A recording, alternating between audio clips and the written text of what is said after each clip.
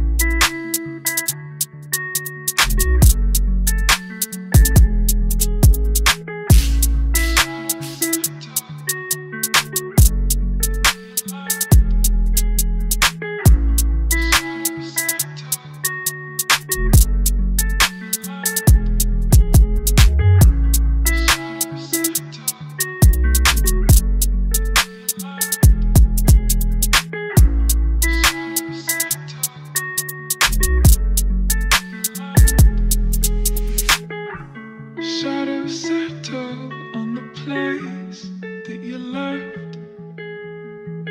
Our minds are troubled by the emptiness.